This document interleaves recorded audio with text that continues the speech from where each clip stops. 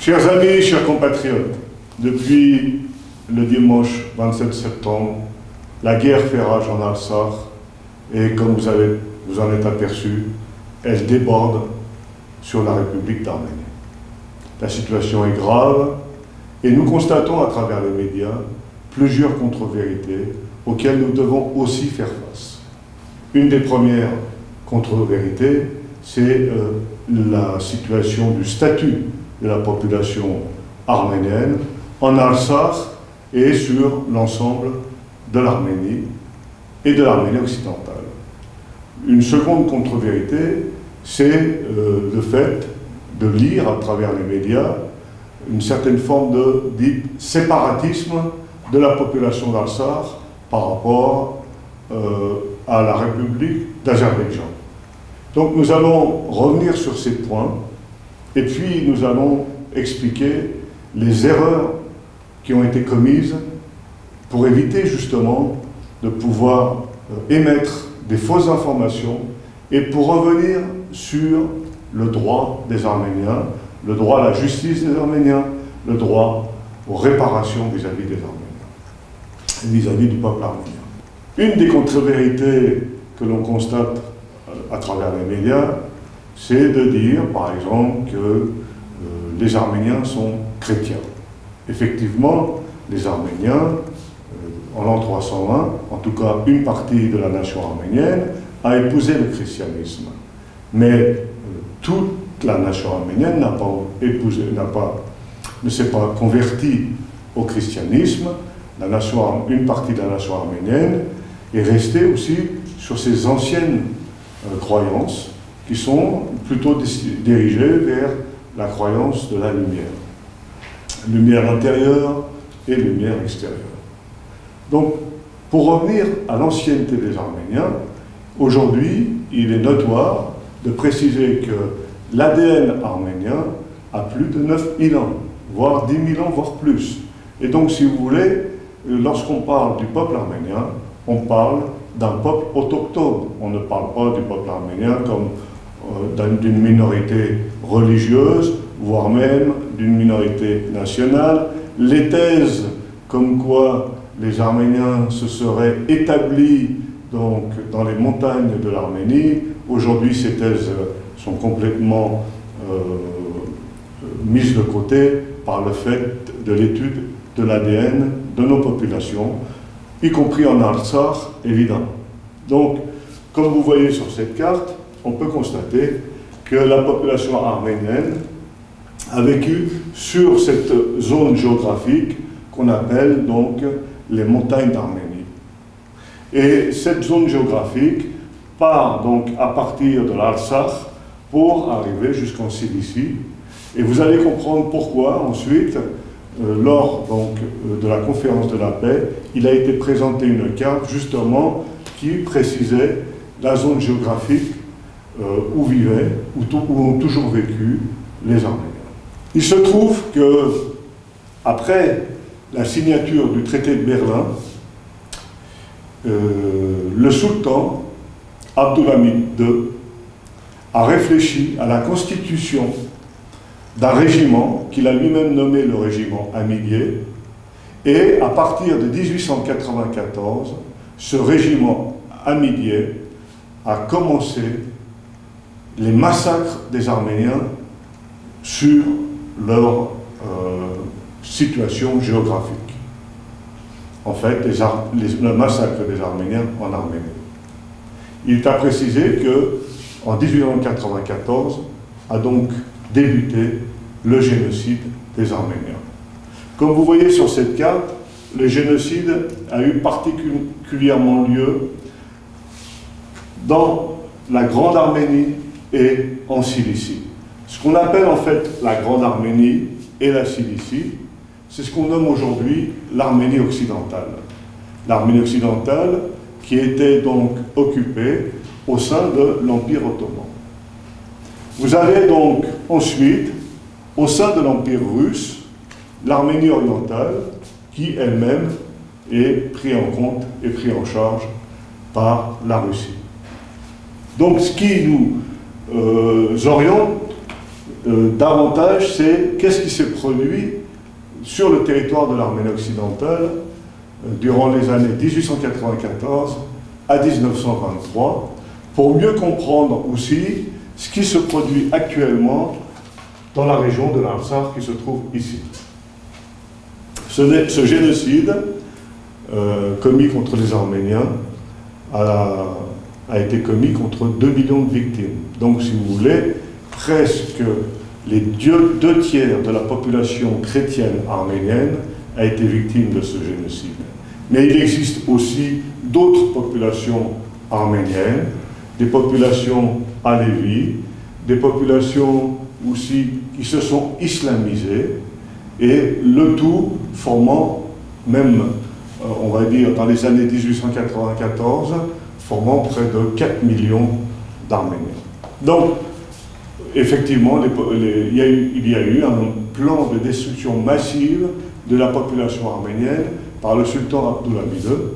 Ce plan de destruction massive a été poursuivi par le gouvernement jeune turc et comme vous le savez, il a été aussi poursuivi par le gouvernement de Mustafa Kemal jusqu'en 1923.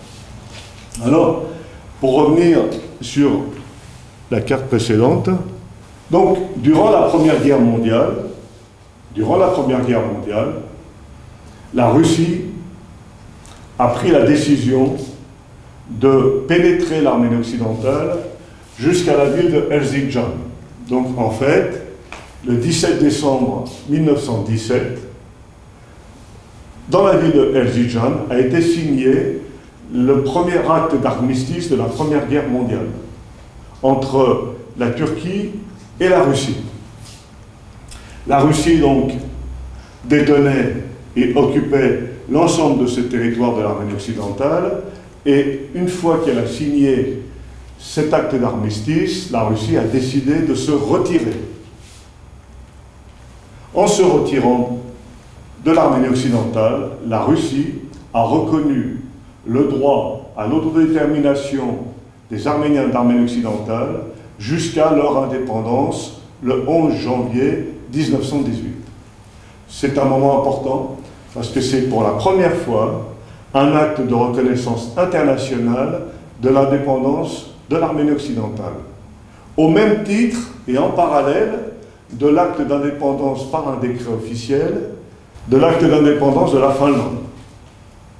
Donc l'État de Finlande a été reconnu indépendant de la même façon que euh, l'Arménie occidentale en, janvier 1918.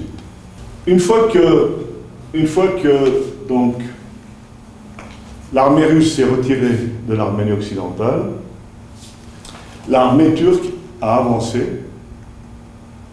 et elle a avancé jusqu'à l'Arménie orientale. En fait, elle a avancé jusque Sardarabad. Il faut savoir que Sardarabad, pour l'Arménie occidentale, il faut bien comprendre que ça ne peut pas être une victoire, puisque l'ensemble de l'Arménie occidentale étant occupé, la résistance et l'acte héroïque qui s'est produit à Sardarabad ne peut pas représenter une victoire pour l'armée occidentale. C'est comme si on disait euh, que en fait les Azéris envahissent l'Alsar et qu'ils euh, n'envahissent pas le Zangezur, donc euh, on, on, considérerait la, résistance du Zangezur comme un acte de victoire. Donc ce n'est pas du tout le cas. Au même moment, après la résistance de Sardarabad, une déclaration s'est faite à Tiflis de la part d'un gouvernement euh, constitué issu du parti politique Tashkent déclarant en fait une souveraineté sur les régions arméniennes de l'Arménie orientale. Cet acte, on l'a en possession et il a été, et je précise, il a été euh, déclaré le 30 mai 1918 et non le 28 mai 1918. En tout cas, euh, c'est cette date-là, le 30 mai 1918, qui est précisé sur l'acte de déclaration. Je tiens à rappeler quand même que le 28 mai 1918, c'est l'acte d'indépendance de l'Azerbaïdjan. Ce qui est important de savoir, c'est que une semaine après cette déclaration, ce gouvernement, qui était basé à Tiflis, a été à Batum et a signé avec l'armée euh, kémaliste un traité, un traité euh, non seulement d'entente, mais aussi un traité d'amitié avec euh, l'armée kémaliste. Le 4 juin 1918, et le résultat de ce traité est la reconnaissance par la Turquie d'une mini-Arménie de 10 000 km dont vous voyez aujourd'hui la carte, la surface sur cette carte. Cette, euh, petite Arménie euh, englobe Yerevan et sa région, Eshmiazin et sa région, et on peut constater une partie, la moitié du lac Sevan. Donc si vous voulez, ce que je viens de vous montrer, c'est en fait le projet turc, c'est-à-dire euh, sur quoi se base aujourd'hui même la Turquie et l'Azerbaïdjan pour faire la guerre à l'Alsar et aussi à l'Arménie. C'est-à-dire que pour la Turquie et pour l'Azerbaïdjan, il n'existe que cette petite Arménie-là. C'est important que vous le sachiez pour que vous puissiez mieux comprendre, en tout cas, en quoi consiste le projet de la Turquie et de l'Azerbaïdjan actuellement. Cependant, le 30 octobre 1918, les puissances alliées euh, en travaillant avec le président de la délégation nationale arménienne, Boros Nouval Pacha, ont décidé d'un plan et d'un accord qui consiste à ce que l'Arménie soit représentée par cette surface jaune, que la Cilicie soit représentée par cette surface bleue, et là vous voyez donc ce qui est actuellement la Syrie et le Liban, et ici avec euh, euh, l'Empire britannique, ce qui est actuellement l'Irak. Donc, le partage ici des montagnes d'Arménie en deux parties, une partie qu'on appellerait donc l'État d'Arménie et une partie qui serait la Cilicie.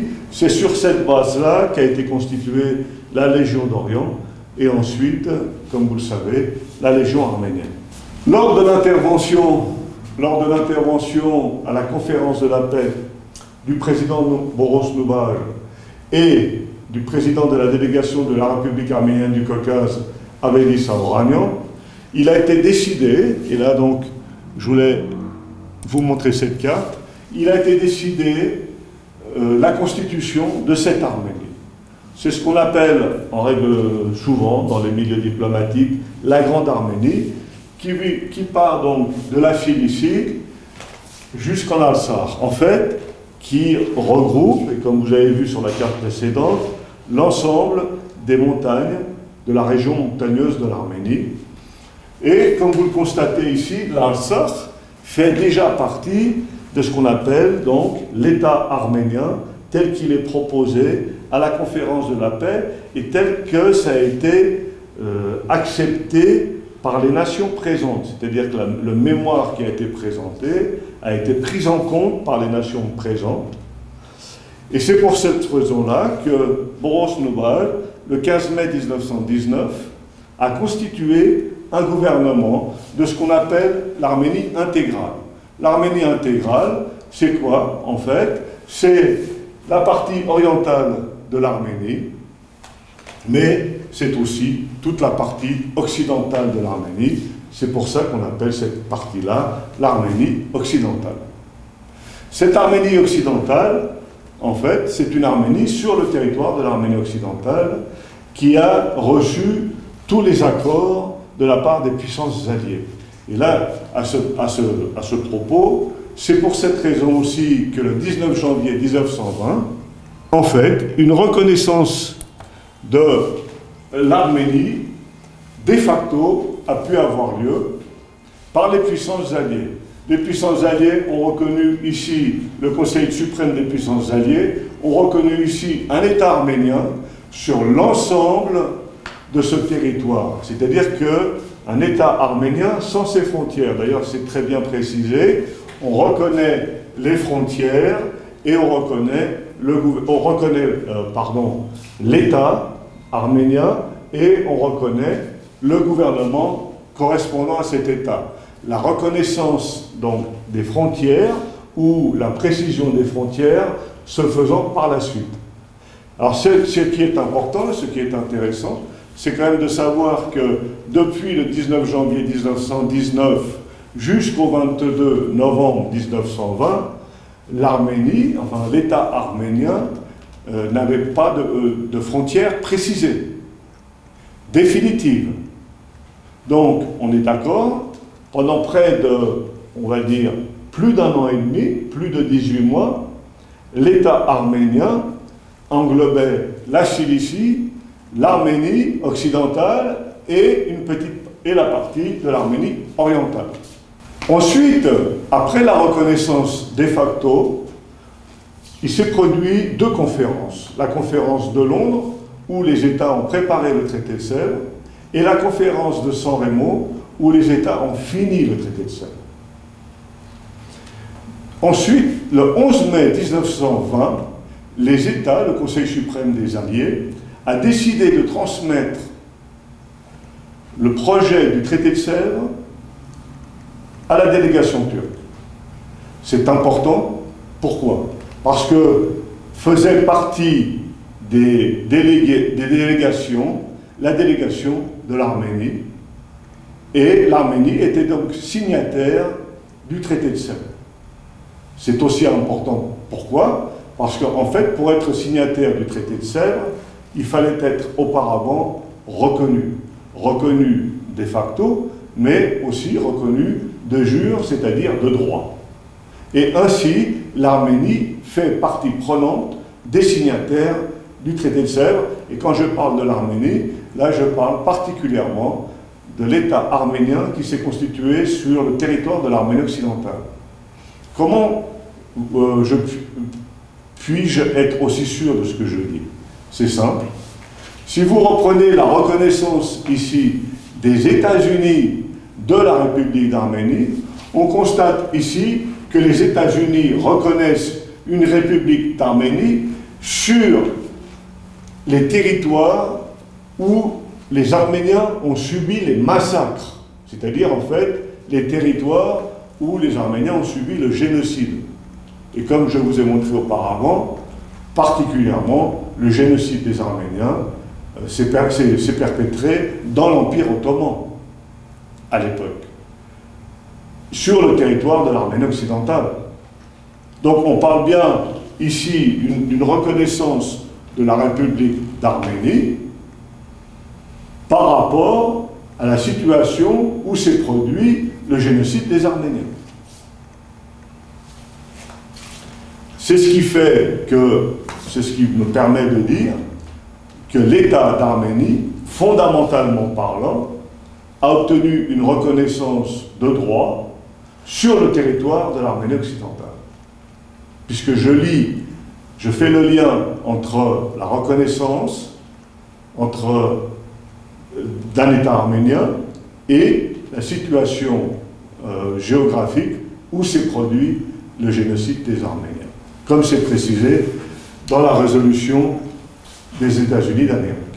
Alors, on peut constater une chose par rapport à cette carte, c'est qu'ici, donc, on a le territoire d'une Arménie. Vous vous souvenez tout à l'heure, je vous ai montré qu'en vérité, l'Arménie faisait 10 000 km seulement. 10 000 km seulement. Alors que l'Arménie qui est montrée ici, c'est l'Arménie, en fait, où, euh, sur laquelle on a rattaché le Zangezur qui a été lui-même délivré par Zoraban Antani, le général Antani, et Nejdé. Alors, ce qui est important, c'est de, de mieux voir la situation de l'Assar ici et la situation du Nakhichevan. En fait, euh, cette situation s'est produite après la signature du traité de Sèvres par la Turquie le 10 août 1920. C'est-à-dire qu'il y a eu un accord entre les bolcheviks et les kémalistes pour pouvoir euh, sortir le Nakhichevan de cette Arménie qui a été déjà reconnue et de sortir l'Arsakh de cette Arménie qui a été déjà reconnue et euh, qui a été validée lors de la conférence de San Remo. C'est-à-dire qu'au moment de la conférence de San Remo, le Conseil suprême des Alliés a pris la décision d'intégrer l'Arsakh à la Grande Arménie, à cette Arménie donc euh, qui a été reconnue de droit. Alors, le travail qu'a fait euh, Staline pour démanteler euh, l'Arménie, ce travail, euh, est-ce que juridiquement il est valable bah, Bien entendu que non. Ce n'est pas non plus le démantèlement du territoire oriental n'est pas valable sur le plan juridique, puisque ça ne s'est pas fait avec l'accord des parties prenantes, et en particulier avec l'accord de l'Arménie occidentale. Jamais Boros Noumal Pacha n'aurait accepté le démantèlement de l'Arménie orientale de cette façon. Ensuite, il faut savoir que lorsque le président Woodrow Wilson a pris la décision donc, de signer la sentence arbitrale le 22 novembre 1920, il faut savoir que, en fait, ça a été une séparation, une division en deux parties de l'Arménie qui était déjà reconnue de facto et aussi de droit. Je répète, lorsque le président Wilson a pris la décision de signer une sentence arbitrale définissant la frontière, un État avait déjà été reconnu de droit sans, bien entendu, la, délimitation des frontières. Mais cet État, c'est cet État qui a été présenté à la conférence de la paix un an auparavant. Cette frontière que vous voyez ici, c'est la frontière donc définie par la sentence arbitrale, et comme vous savez qu'une sentence arbitrale est imprescriptible et est valide jusqu'à aujourd'hui. Ensuite, la France a obtenu le mandat de protection des populations arméniennes, donc de Cilicie. Je rappelle que ce mandat a été appliqué par la constitution de la Légion d'Orient, puis de la Légion arménienne, mais une fois que la Cilicie a été libérée par la Légion arménienne, qui formait euh, le noyau de l'armée nationale de l'Arménie, euh, la France a pris la décision de négocier avec Mustafa Kemal un accord qui s'appelle l'accord d'Angora, donc un, un, traité en fait bilatéral pour 99 ans en 1921, au mois d'octobre 1921. Donc ça signifie que si vous faites le calcul, 99 ans, au mois d'octobre, c'est-à-dire ce mois-ci, 2020, cet accord donc se termine. Ça signifie que aujourd'hui, lorsqu'on constate les débordements de la Turquie sur la Syrie, les débordements de la Turquie en bombardant l'Irak, les les débordements sur la Libye ou sur la Grèce, on constate que la Turquie ne respecte plus, y compris le traité de Lausanne. Il ne respecte plus la, Turquie ne respecte plus non plus l'accord d'Angora, c'est-à-dire qu'il ne reste plus, comme on va dire, un accord international, il ne reste plus que le traité de Sèvres. Actuellement, donc, deux projets sont en train de se deux projets juridiques, on va dire, euh, sont euh, en train de, s'affronter. Le traité de Sèvres, qui accepte l'existence d'une Arménie qui regroupe l'Arménie occidentale, et un traité signé euh, à Batum le 4 juin 1918 qui, qui prend en compte une Arménie de 10 000 km. C'est pour cette raison que l'Azerbaïdjan se donne le droit, se donne le droit, mais bien entendu elle n'en a pas, d'attaquer l'Arsakh et d'attaquer la République d'Arménie. La situation est grave sur le terrain. Sur le plan juridique, il est bien entendu que ni la Turquie, ni l'Azerbaïdjan n'ont le droit euh, d'utiliser leurs forces armées pour nettoyer ethniquement ces régions et on le constate, en faisant la poursuite d'un génocide qui a déjà commencé en 1894. Ça signifie que les populations arméniennes ont le droit de se défendre. Et il n'est pas concevable que ça puisse en être autrement.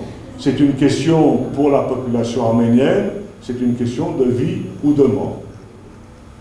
Je rappelle tout simplement que le fait que les Arméniens d'Arménie occidentale vivent en dehors de l'Arménie occidentale, euh, c'est aussi une façon de poursuivre le génocide des Arméniens qui a commencé en 1894. Alors, simplement, euh, concernant le traité de Sèvres, souvent était, on, entendait un petit peu ces contre-vérités qui consistaient à dire que le, traité de Sèvres euh, n'a plus aucune force de loi, de juridique, parce qu'il a été remplacé par le traité de Lausanne. Alors, lorsqu'on constate ici le nombre de signataires du traité de Sèvres, et lorsqu'on constate ici le nombre de signataires du traité de Lausanne, on s'aperçoit très nettement qu'on n'a pas le même nombre. Donc ce n'est pas possible qu'un traité remplace un autre traité quand lui-même n'est pas signé par les mêmes signataires. D'ailleurs, euh, les règles fondamentales le précisent très bien. Le droit international public décide que lorsqu'un traité collectif est abrogé et remplacé par un autre, ce dernier ne sera pas opposable à l'État signataire du premier, qui n'aura pas été partie du second. Pour cet État, le premier y-traité continue à avoir effet. En conséquence, l'Arménie, signataire du traité de Sèvres, et là je parle de l'Arménie occidentale, sur le territoire de l'Arménie occidentale, mais écartée du traité de Lausanne, peut légitimement demander l'application des dispositions du traité de Sèvres. Donc c'est un moment important. Il faut euh, vraiment, on, peut lire même euh, dans les médias, mais aussi dans les, dans les documents qui sont produits au sein donc, des Arméniens qui vivent dans, diverses communautés, des contre-vérités. Euh, bien sûr que ces documents n'ont aucune source juridique valable, évidemment, puisque le droit international interdit ce genre de choses. Alors, pour revenir Maintenant sur la situation par rapport à la guerre que nous sommes en train de vivre. Effectivement, au sein du traité de Sèvres, la Turquie déclare reconnaître, comme l'ont déjà fait les puissances alliées, l'Arménie comme un État libre et indépendant. De quelle Arménie parlons-nous? Évidemment, dans le mémorandum turc, l'Arménie qui est présentée, c'est l'Arménie du traité de Batum de 10 000 km. Mais ce mémorandum a été rejeté par les puissances alliées. C'est-à-dire non seulement l'Arménie, sur le territoire de l'Arménie occidentale, a été reconnue de facto, a été reconnue de jure et de droit, mais ensuite, par le rejet du mémorandum du projet turc, a été reconnu une troisième fois. Ça signifie que l'article 92 et force de loi dans la situation actuelle.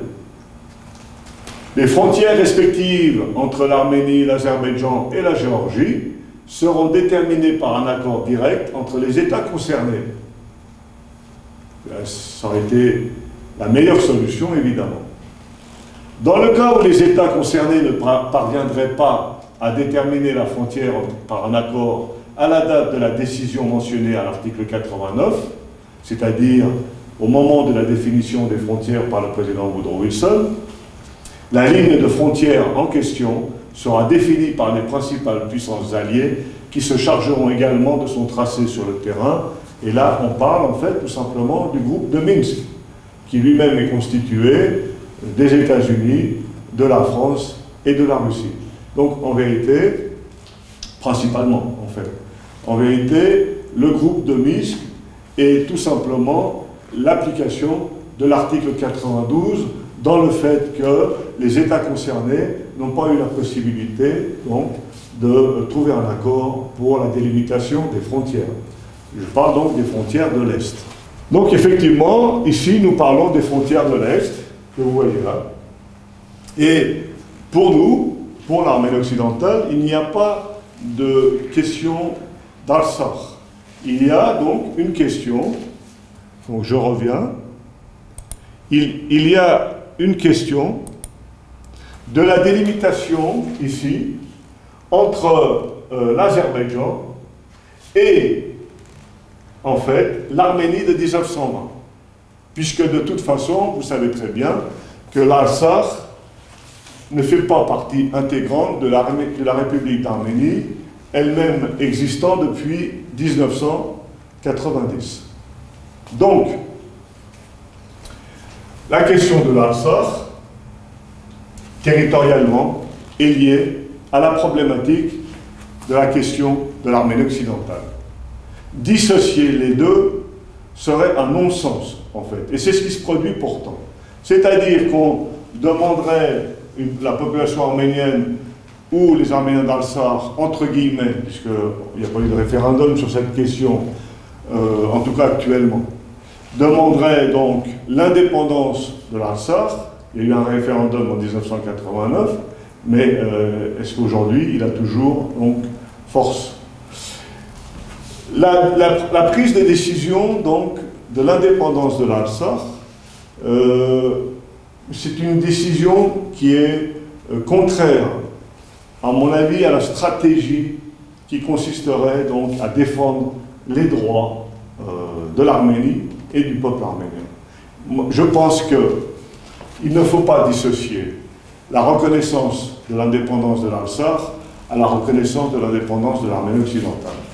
Aujourd'hui, c'est un combat qu'on doit mener de même front, puisque rien ne nous dit, et on l'a vu très bien au mois de juillet 2020, euh, lorsque les forces azéries ont frappé de la région de Davouche, rien ne nous dit que euh, la question de l'indépendance de l'Alsace protégerait l'Alsace en soi. Ce n'est pas euh, le statut d'indépendance qui, forme la protection du pays. Aujourd'hui, vous le voyez très bien, par rapport au, niveau et au taux de résistance de notre armée euh, sur la ligne de démarcation, sans reconnaissance, même d'indépendance, l'Alsace résiste. Donc, la problématique est de régler une bonne fois pour toutes, par rapport au dossier juridique, la question qui lie l'Alsace et qui lie l'Arménie occidentale, je rappelle, État lui-même reconnu en 1920, et non pas en 1990, comme l'Arménie et comme la République d'Arménie.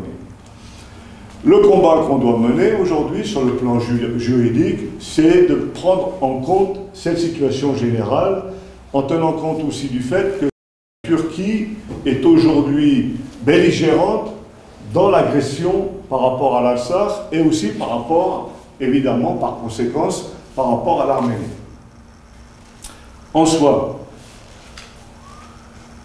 si euh, on ne tient pas compte aujourd'hui de la question des droits des Arméniens de façon générale, de façon globale.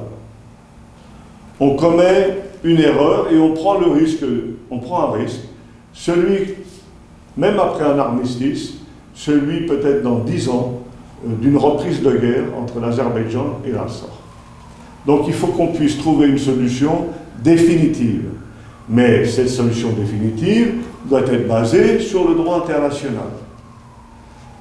Effectivement, quels sont les documents qui sont à notre disposition pour pouvoir présenter cette solution aux, principales puissances du Conseil de sécurité des Nations Unies et euh, éventuellement de ses membres C'est le traité de Sèvres et euh, la sentence arbitrale du président Wilson.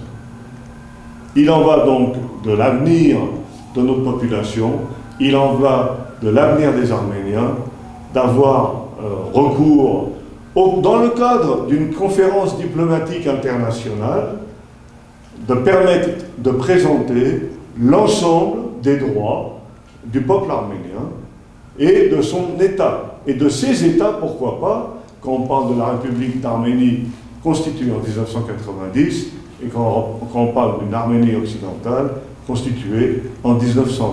Effectivement, euh, ce dossier juridique, euh, beaucoup de personnalités n'ont pas eu accès durant cette dizaine d'années.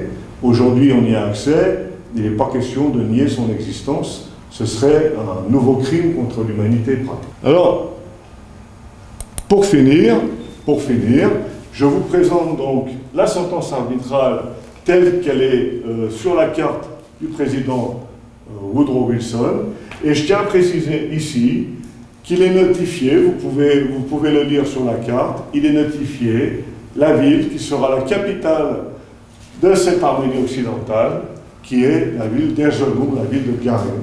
Et il faut préciser que ce choix a été euh, décidé à la conférence de San Remo, au même moment où il a été décidé que l'Alsace, en fait le Karabakh à l'époque, fait partie de cette Arménie reconnue en 1920. Je voulais vous remercier de votre attention et n'hésitez pas à euh, diffuser ces messages-là pour que tout le monde, tous, tous les Arméniens et tous les médias puissent bien comprendre euh, sur quel dossier juridique aujourd'hui nous défendons nos droits. Merci.